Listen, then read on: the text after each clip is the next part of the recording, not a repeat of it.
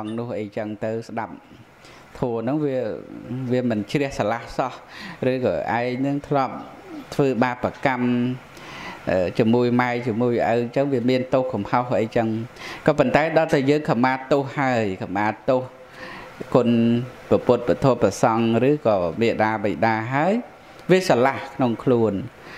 ញាតិញោម សាក់លបងខ្លួនឯងមើលទៅដឹងអាត្មាវាវាធ្លាប់ខ្លួនឯងពេលដែលដែលខុសអីមួយនៅក្នុងវិន័យក្តៅកាហាយញាតិញោមក្តៅកាហាយអឺអាត្មាមិនជុំទេមានអង្គផ្សេងទៀតគឺក្តៅកាហាយខ្លាំងខ្លាំងតែមកញាតិញោមខ្លាំងរហូតដល់ទ្រាំនៅលោកមិនបានរហូតដល់សឹកការក្តៅកាហាយហ្នឹងវាកើតពីសេចក្តីសង្ស័យនឹងផងដោយការមិនចេះដឹងផង អានឹងលោកបួសថ្មីថ្មីថ្មលើកនិទានមួយថាហេតុអីក៏ចាំបាច់មានការខមាត់ទោសនោះវាមានរឿងរឿងក្តៅកាហាយនឹងឯងរឿងការសៅមកក្នុងចិត្តនឹងឯងលោកមួយនៅលោកកម្ពុជាក្រោមទេប៉ុន្តែលោកមកខ្មែរទៅក៏បួសនៅខេត្តកដាលហ្នឹងកាលអាត្មានៅរៀនឆ្នាំ2000ជាង លោកបួសហើយញាតិញោមលោកបួសហើយលោកលោកអត់ចង់ដើរលើផែនដីទេលោកថាមិនដឹងជាយ៉ាងម៉េចចិត្តលោកនឹងហ៊ានតែចេញដើរទៅវាចិត្តលោកថាសម្ោចនៅក្រោមបាតជើងលោក គ្រប់ជំហានដែលលោកដើរហ្នឹងលោកថាចិត្តសម្ោចហ្នឹងនៅនៅក្រោមបាតជើងលោករហូតអញ្ចឹងមួយថ្ងៃមួយថ្ងៃលោកចេញទៅបន្ទប់ទឹកមកវិញសុំសិលចេញទៅឆាន់មកវិញសុំសិល ចេញទៅព្រះវិហារមកវិញសុំសិលសិលវាមិនដាច់ទេសិលវាមានអង្គសខាបត់ក៏ប៉ុន្តែចិត្តនោះសៅហ្មងចិត្តនឹងដូចថាក្តៅក៏ហើយដោយចិត្តនឹងគិតថាសម្ោចនឹងនៅក្រោមបាតជើងលោកឲ្យតែលោកចេញដើរទៅគឺដឹងថាសម្ោចនៅក្រោមបាតជើងលោកហ្នឹងហើយដោយចឹងទៅលោកមានសេចក្តីសង្ស័យតាមពិតវាមិនទៅដាច់សិលអីទេប៉ុន្តែចិត្តលោកនោះ នៅមិនបានទេត្រូវតែសុំសិលនឹងបើមិនសុំគឺអន្ទះអន្ទែងនៅមិនសុខថាខុសវិន័យថាបាបយ៉ាងនេះយ៉ាងនោះអីចឹងទៅហើយដល់ពេលសុំសិលហើយឆ្លាស់ខ្លួនមកវិញសុំសិលហើយឆ្លាស់ខ្លួនមកវិញតែចេញពីគាត់ទៅសៅម៉ងទៀតហ่ะបួអត់បានប្រមាណសឹកទៅឥឡូវសឹកបាត់តានឹងមិនមិនបាននៅលោកអីទៅទៀតគណៈចឹងបានការខមាទោស ដោយបាសកម្ចាស់ប៉ុនលើកឡើងហ្នឹងគឺថាដើម្បីកុំឲ្យវាមាននៅអន្តរាយកៈធัวវាអត់មានធัวរារាំងមគ្គផលអានឹងតែកាលណាមិនបានខមាស់ទោសទេ គឺថាមគ្គផលនោះសំបីតែឋានសួគ៌ក៏អាចហាមឃាត់ដែរពីព្រោះចិត្តនឹងវាសៅមក ហើយបើនិយាយឲ្យរៀងជ្រៅបន្តិចទៅទៀតនោះនៅក្នុងអភិធម្មនឹងលោកហៅថាយទាសន្នកម្មយទាសន្នកម្មនឹងគឺថាវាលេងតែគិករុធัวនៅទាំងទាំង6ទេ ដែលថាធัวធ្ងន់ដែលมันអាចវាលេងបានគរុទោសក៏ថាបាននៅក្នុងនៅក្នុង អនន្តរយកម្ម5នឹងហើយនឹងនិយតមិឆាទិដ្ឋិ5ហើយនឹង1 6 6នឹងគឺថានៅក្នុងយទាសន្នកម្មនៅក្នុងមរណាសន្នជាវ័នហ្នឹងគឺថាពេលដែលចិត្តស្លាប់មកដល់ទោះបីយើងខំធ្វើសេចក្តីល្អហើយកឋិនធ្វើបន់ការធ្វើបន់ណាណាពេលចិត្តស្លាប់នឹងនឹកឃើញកុសលទាំងអស់នឹងហើយក៏ដោយកុសលនឹងមិនអាចជួយបានទេ ហ្នឹងហើយតាមនៅក្នុង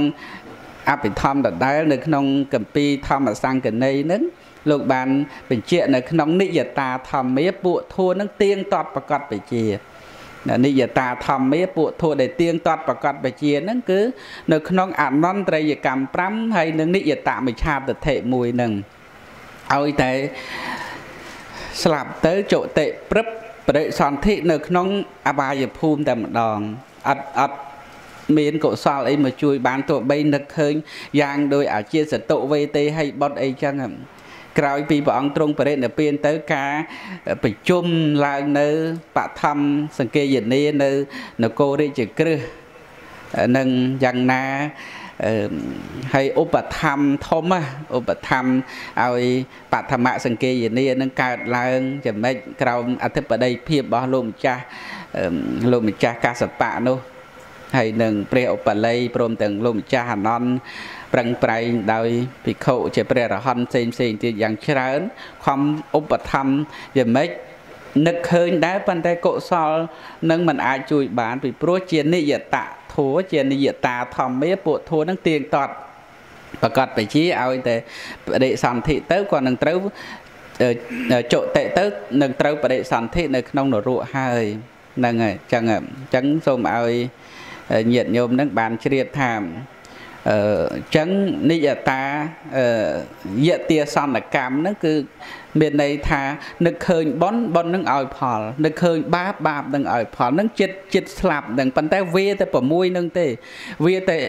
អនន្តរិយកម្ម5និងនិយតមិឆាទិដ្ឋិ1ហ្នឹង6ហ្នឹងគឺនឹកឃើញមិនក៏ជួយបានដែររឿងកុសលហ្នឹងវាត្រូវតែទៅនរកសិននឹងប៉ុនហ្នឹងចាំឲ្យផលក្រោយ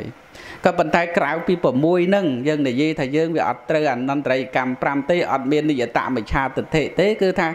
យើងនឹកឃើញប៉ុនប៉ុននឹងត្រូវឲ្យផលចុះបើយើងនឹកទៅវាសៅម៉ងចិត្តយើងធ្វើប៉ុនច្រើនមែនក៏ប៉ុន្តែយើងថាមានទោសកំហុសជាមួយពុទ្ធពធប្រសង្ឃធ្លាប់តេះដៀលយ៉ាងនេះយ៉ាងនោះធ្លាប់រិះគន់ជាមួយមេដាបិតាអីទៅយើងអត់បានខមាទោស ដល់អត់បានខមាទោសហ្នឹងនឹកឃើញបនវាវាទើត្រង់ចិត្តយើងសៅម៉ងដែលយើងមិនបានខមាទោសហ្នឹងអញ្ចឹងសំបីតែកុសលដែលត្រូវឲ្យផលនៅក្នុងពេលដែលចិត្តស្លាប់ហ្នឹងក៏មិនអាចមានឱកាសដែរអាហ្នឹងអញ្ចឹងបានអាត្មាថា អាការដែលមិនខមាទោសនេះជាអន្តរាយកៈធោគឺធោដែលរារាំងមិនឲ្យបានទៅកាន់សួរនិព្វាននឹងអញ្ចឹងហើយខ្វះខាតយ៉ាងម៉េចក៏សូមអង្គធម្មសន្តានីទាំងមូលនឹងជួយបន្ថែមផងពោសូមអនុមោទនីវិចាររបស់ព្រះអង្គឃើញថាយល់ច្រើន បានយល់ច្រើន បញ្ហាដែលសុំខមាទោសជាបញ្ហាមួយហើយ បញ្ហាដែលធ្វើឲ្យអឺការវាចានៅអកុសលទាំងឡាយនោះក៏វាមានលក្ខណៈអាចវាចាបាននិងអាចវាចាមិនបាន នៅពេលដែលជីវិតចុងក្រោយដូច្នេះខ្ញុំបាទខ្ញុំកណាសូមអស់ចម្ងល់តែប៉ុណ្ណេះហើយសំណួរនៅមួយទៀតហ្នឹងណានៅសំណួរមួយទៀត ណាកណាខ្ញុំឲ្យជួយសម្របអស់ណាខ្ញុំប្រកាសរណាសូមក្រាបថ្វាយបង្គំប្រគុណជាអម្ចាស់ជាទីគោរពសក្ការៈក្រោកឈរបានចូលកាមេរ៉ាណាមួយអន្លើខ្ញុំបាទសូមជម្រាបសួរលោកយាយលោកតាឧបាសកឧបាសិកាឧត្តមចាស់ទុំទាំងអស់ដែលលោកបានជើញមក ជាកិត្តិយសហើយក៏បានប្រគល់កាយថ្វាយជីវិត ក្នុងចំណុចចូលរួមនៅក្នុងធម្មៈសន្តានីដែលមានប្រធានបទជូនដល់ញាតិញោមដើម្បីសាកសួរនៅដែលជំវិញដំណើរជីវិត ដែលយើងបដិបត្តិសពថ្ងៃដូច្នេះអរប្រគុណចំពោះព្រះគ្រូជាម្ចាស់ដែលព្រះអង្គមានបតីអនុគ្រោះដែលដល់សត្វទាំងឡាយដូច្នេះខ្ញុំប្រកាសរណាត្រេកអរណាស់ចំពោះបញ្ហាកម្មដែលលោបាសក់អៀងក្លិន លោកបានលើកឡើងពីចំណុចណានៃកម្មវិធីនៅក្នុង ណាឧត្តមៀងដែលមានបទថាពុទ្ធេយោធម្មេយោសង្ឃេយោខលិតោតោសោពុទ្ធោធម្មោសង្ឃោខមតោតាំងមៈមៀងដូច្នេះខ្ញុំប្រកាសរណាណាដូចថាវាអស់សង្ស័យណាអស់សង្ស័យអស់សង្ស័យមូលហេតុអីពួកខ្ញុំកណាបានសិក្សារៀនសូត្រ ដែលសាសនាព្រះសម្មាសម្ពុទ្ធជាអម្ចាស់ប្រសិនបើយើងមិនហៅថាពុទ្ធសាសនាទេ គឺយើងហៅថាសាសនាជឿកម្មនិងផលរបស់កម្មដូច្នេះក៏បានចឹងខ្ញុំក៏ថាក៏ឆ្ងល់យូរដែរហើយពីរឿងពុទ្ធេធម្មេនិងសង្ឃេយោខលិតោតោសោប្រសិនបើសាសនាព្រះសម្មាសម្ពុទ្ធ ទេសនៈទៅលើកម្មនិងផលចេះប្រយោជន៍អីនៃការខលិតោតោសោសំបងមេត្តាអនុគ្រោះអត់ទោសណានឹងពធនឹងប្រសង់ជាដើម ដូច្នេះដោយការបំភ្លឺនៃប្រគ្រូជាម្ចាស់ខ្ញុំកណាណាក៏ត្រេកអរណាចំពោះណាធម្មសន្តានីដែលមានប្រគ្រូធំជាម្ចាស់បានបំភ្លឺ បាត់សង្ស័យញោមញាតទាំងឡាយលោកស្ដាប់បានដែរទេមិញនេះគឺល្អដូច្នេះគឺជាកិច្ចបន្តខ្ញុំកណាក៏អមជាមួយ នៅក្នុងកម្មវិធីនេះចំនួនជូនលោកគ្រូឧបាសកអៀងក្លិនសមេតាក្រាបថ្វាយបង្គំរតនីប្រគុណជាអម្ចាស់ដើម្បីព្រះអង្គប្រទាននៅធម្មសន្តានាដែលមានព្រះគ្រូជាម្ចាស់ជាប្រធានចឹងសមេតាព្រះអង្គបំភ្លឺនៅ កតញ្ញូកតវិទីតាធរកតញ្ញូកតវិទីតាធរនេះ មិនមែនជាការរៀបចំឡើង ដោយកំណត់នឹកឃើញនៃអបាសក់អៀងក្លិនទេ ដូច្នេះពាក្យនេះនៅក្នុងចំណុចនៃបុគ្គលទាំងឡាយដែលរកបានដោយកម្របុគ្គលដែលរកបានដោយកម្រនៅក្នុងសាសនានេះគឺមាន2បែបចំណុចទី1ហៅថាបពការី ទី2កតញ្ញូកតវេទីតាធរដូច្នេះមិនឆ្ងល់ទេ នៅក្នុងបពការីបុគ្គលដូច្នេះគឺសំណួរតកតងទៅលើកម្មវិធីបន់ខ្ញុំក៏ថាសូមលើកឡើងខ្លី ដើម្បីប្រគេនប្រគូជាម្ចាស់សូមក្រាបថ្វាយបង្គំរតនាប្រគ្រូបំភ្លឺពីកតញ្ញូកតវេទីតាបុគ្គល ដែលជាចំណុចទី2នៃបុគ្គលដែលរកបានដោយកម្រចឹងសូមខ្ញុំកណាសូមក្រាបថ្វាយបង្គំរតនាប្រគុណជាអម្ចាស់ណាសូមក្រាបថ្វាយបង្គំរតនាណាមគុណទានសាធុសាធុអគុណពោះបាសកបានលើកឡើងនៅក្នុង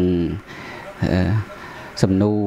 ដែលសាកសួរតកតងទៅនឹងកម្មវិធីប៉ុននេះ គឺប៉ុន កតញ្ញូកតវេទីកណ្ដានៅក្នុងបុគ្គលដែលកម្ររੂបាន ក្នុងលោកនេះដោយញោមបាសកមានប្រសាសន៍ហើយថាមានពីរយ៉ាងនឹងទី1គឺបុព្វការីបុគ្គលឬក៏បុព្វការីជនណាបុព្វការីហ្នឹងគឺអ្នកធ្វើមុនណាអ្នកដែលធ្វើគុណមកលើកូនចៅហ្នឹងអ្នកដែល មានគុណនោះគឺមេដាបៃតានឹងហើយគឺកម្ររោបានក្នុងលោកនឹងហើយទី2កតញ្ញូកត